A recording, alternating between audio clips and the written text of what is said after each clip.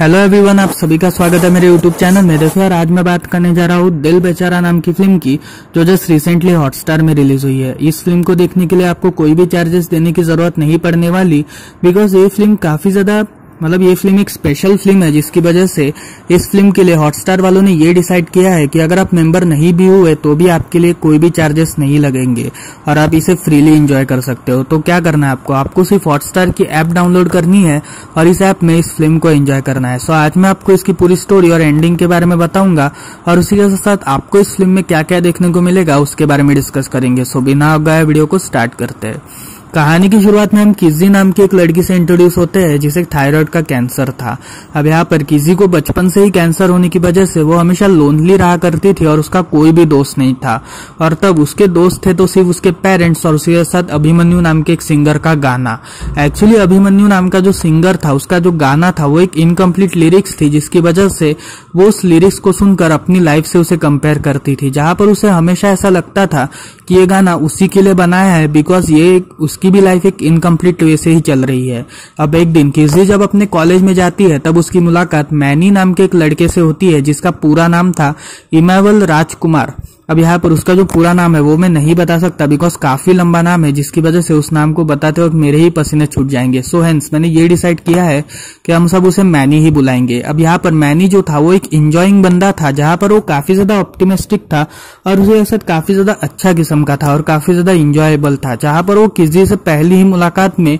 उसके साथ थोड़ी सी फ्लर्टिंग करता है बट किसी उसे बिल्कुल भी भाव नहीं देती और अपने घर की तरफ़ जाती है। जहाँ पर अगली सुबह वो अपने कैंसर फाउंडेशन में जाती है जो ज़्यादातर ऐसे लोगों के लिए बनाया गया था, जो कैंसर से ग्रसित है और उन्हें कैंसर कैंसर को हराने के लिए एक मोटिवेशन देने के लिए इस प्रोग्राम को शुरू किया गया था। इसी वजह से किजी उस प्रोग्राम में जाती है, जहाँ पर उसकी मुलाकात मैनी से होती है। अब यहाँ पर मैनी से जब पूछा जाता है कि आखिर उसका क्या सपना है, जहाँ पर मैनी ये कहता है कि उसे जेपी के साथ काम करना है। और मैनी का एक दोस्त भी था, जिसका नाम था जेपी, जो एक डायरेक्टर बनना चाहता था और उसे भी आय कैंसर था। अब यहाँ पर मैनी अपनी प्रॉब्लम बताता है और कहता है कि मैं जेपी के साथ काम करना चाहता हूँ और मेरी यही आखिरी ख्वाहिश है। एक्चुअली मेरे लेग कैंसर की वजह से मेरे लेग्स को काटा गया था बट मुझे आर्टिफिशियल लेग्स के बाद मैं काफ़ी ज़्यादा अच्छा महसूस कर रहा हूँ और इसी इंजॉयबल के साथ मैं अपनी लाइफ को जीना चाहता हूँ। अब यहाँ पर जेपी जो था वो आ, वो काफ़ी ज़्यादा खुश था और उसे असल मैनी को पाके वो और भी ज़्यादा खुश था और मैनी जो था वो किजी से इसी वजह से फ्लर्ट कर रहा था बिकॉज़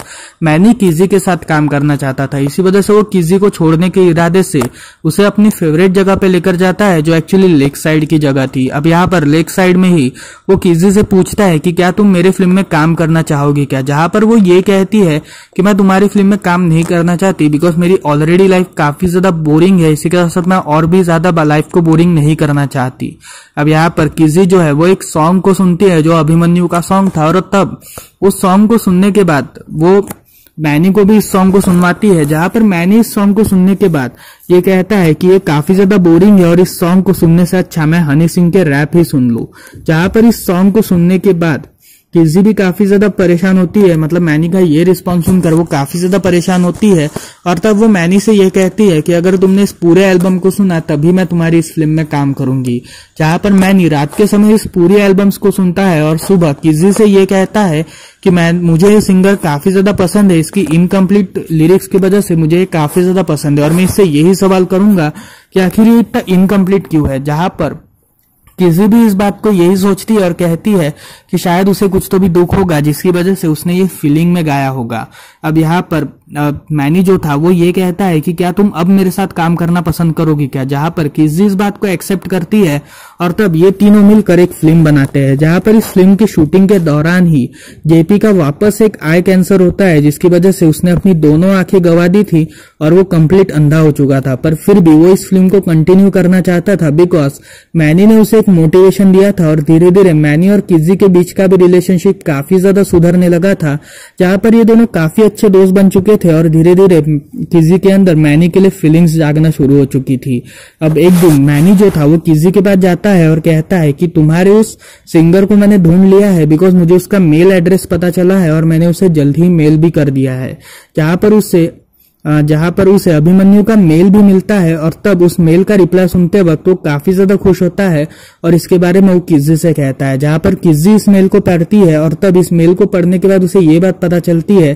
कि एक्चुअली जो सॉन्ग अभिमन्यु ने लिखा था, वो उसने जानबूझकर इनकम्प्लीट छोड़ा था बिकॉज़ उसे कंप्लीट करना एक बहुत बड़ी गलती हो जाती, जिसकी वजह से वो उसे कंप्लीट नहीं कर पाया। अब उसके इस आंसर से किजी काफ़ी ज़्यादा अनसेटिस्फाइड थी, जिसकी वजह से किजी भी उसे एक मेल करती है, जहाँ पर उस मेल का रिप्लाई अभिमन्यु करता है, और तब उस मेल के रिप्लाई में वो उसे पेरिस में इनवाइट करता है। जहाँ पर किजी इस बात को सुन के काफ़ी ज़्यादा खुश होती है, और तब वो मैनी से भी इस बारे में बात करती है, जहाँ पर मैनी भी काफ़ी ज़्यादा खुश था, और तब वो इन दोनों की पेरिस जाने की बात कर रहा था। अब यहाँ पर पेरिस की बात जब किजी के मॉम डैड को पता चलती है, तब किजी के मॉम डैड काफ़ी ज़्यादा परेशान होते हैं, और तब वो डॉक्टर्स की हेल्प लेते हैं, जहाँ पर डॉक्टर्स भी उसे यही कह रहे थे कि अगर तुम इस ट्रिप में जाओगी तो तुम्हारे लिए काफ़ी ज़्यादा रिस्कफुल हो सकता है, जिसकी वजह से तुम इस ट्रिप में ना ही जाओ तो अच्छा है। जहाँ पर किस काफ़ी ज़्यादा जिद करती है और तभी उसे शाम के समय एक अटैक आता है और यह अटैक था कैंसर अटैक अब यहाँ पर इस अटैक के आने की वजह से किसी को अचानक से हॉस्पिटल ले जाया जाता है, जहाँ पर उसका पेरिस का जो ड्रीम था, वो पूरी तरीके से चकनाचूर हो चुका था और वो मैनी से नज़रें नहीं मिलाना चाहती थी, जिसकी वजह से वो मैनी का फ़ोन काट रही थी। एक्चुअली मैनी उसे लगातार फ़ोन कर रहा था बट वो उसका फ़ोन काट रही थी और जैसे ही वो हॉस्पिटल से डिस्चार्ज हुई, तब मैनी उससे मिलने आया, जहाँ पर मैनी ने उसके पेरेंट्स, यानी किसी के पेरेंट्स को भी पटा लिया था पेरिस के ट्रिप में जाने के लिए। जहाँ पर किजी के जो फादर थे, वो मैनी से ये पूछते हैं कि आखिर तुम ऐसा क्यों कर रहे हो? जहाँ पर मैनी ये कहता है कि जब मेरा पैर काटा जा रहा था, तब मैंने मेरे पापा से भी यही कहा था कि आखिर आप ऐसा क्यों कर रहे हो? जहाँ पर मेरे पापा ने ये कहा था कि तुम्हारे लिए काफ़ी ज़्यादा अच्छा है। अब यहाँ पर पैर काटने की वजह से मैं कभी भी बास्केटबॉल नहीं खेल पाया बिकॉज़ जब भी मैं बास्केटबॉल खेलने का ट्राई करता था, तब मुझे हमेशा ऐसा लगता था कि ये बास्केटबॉल मेरा है ही नहीं। जब भी मैं कभी कोई मैच जीतता था, तब वो सक्सेस मुझे अपना सक्सेस लगता ही नहीं था, जिसकी वजह से जब मैं किज्जे से मिला और उसका एक छोटा सा सपना मैंने पूरा करने के डिसीज़न लिया तो मैं उसको ज़रूर पूरा करूँगा बिकॉज़ उसका ये सपना ज़रूर पूरा होना चाहिए। और तब किजी किजी के फादर भी इस बात को एक्सेप्ट करते हैं, और तब किजी के फादर ये डिसाइड करते हैं कि किजी की माँ भी उसके साथ जाएगी हैज़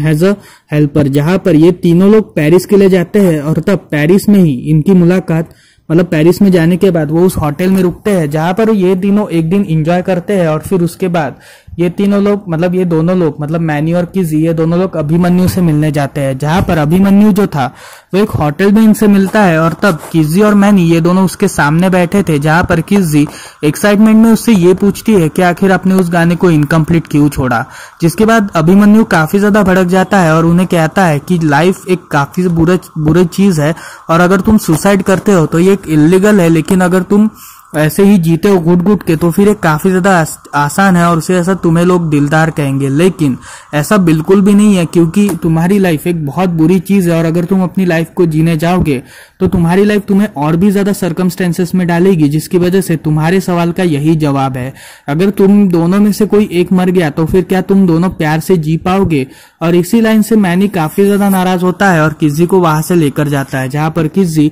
इस बात पर बिल्कुल भी भरोसा नहीं कर रही थी कि जिसको वो अपना इतने सालों से आइडल मान रही थी, वो उससे इतना रूडली बात कर रहा था। अब यहाँ पर किस अब यहाँ पर किजी जो है, वो काफ़ी ज़्यादा रोती है और तब मैनी उसे कंसोल करता है और तब ये दोनों अपनी ट्रिप एंजॉय करने का डिसाइड करते हैं। जहाँ पर ये दोनों अपनी ट्रिप को एंजॉय करते हैं और तब इन दोनों की ट्रिप एंजॉय करने के बाद ये जब वापस इंडिया आते हैं, तब ये वापस अपनी शूटिंग को शुरू करने वाले थे। बट तब तक मैनी किसी को एक बुरी खबर सुनाता है। एक्चुअली मैनी जो था, उसे काफ़ी टाइम से कैंसर था। बिकॉज़ जब किसी को अटैक आया था कैंसर का, उसी के बाद उसके भी चेस्ट में काफ़ी ज़्यादा पेन होने लगा था, जिसकी वजह से जब उसने पीएटी स्कैन कराया, तब उसे ये बात पता चली कि उससे भी कैंसर हो चुका है, जिसकी वजह से वो भी अब थोड़े समय में मरने वाला है। अब यहाँ पर किजी इस बात से काफ़ी ज़्यादा नाखुश थी और तब किजी ये डिसाइड करती है कि वो मैनी के लिए इस पूरी फ़िल्म को खत्म करेगी और इसकी पूरी शूटिंग को भी खत्म करेगी, जहाँ पर किजी और मैनी ये दोनों इस फ़िल्म को खत्म करते हैं और तब किज और तब किजी जो थी वो काफ़ी ज़्यादा खुश थी बिकॉज़ मैनी उसके साथ आखिरी समय तक था और तभी अचानक से एक रात किजी को मैनी का कॉल आता है, जहाँ पर मैनी उसे एक थिएटर पे बुलाता है। अब यहाँ पर इस थिएटर में अचानक से उसे अटैक आ चुका था मतलब इस थिएटर में जहाँ पर वो रजनीकांत सर की फ़िल्म देख रहा था, तभी उसे अचानक से अटैक आ चुका था, जहाँ पर वो किजी से इस बारे में बात करता है और तब किजी बीच थिएटर में ही उसे हॉस्पिटल ले जाती है एंबुलेंस बुलाकर उसे हॉस्पिटल ले जाती है, जहाँ पर हॉस्पिटल में थोड़ा टाइम वो स्पेंड करता है और हॉस्पिटल से डिस्चार्ज होने के बाद,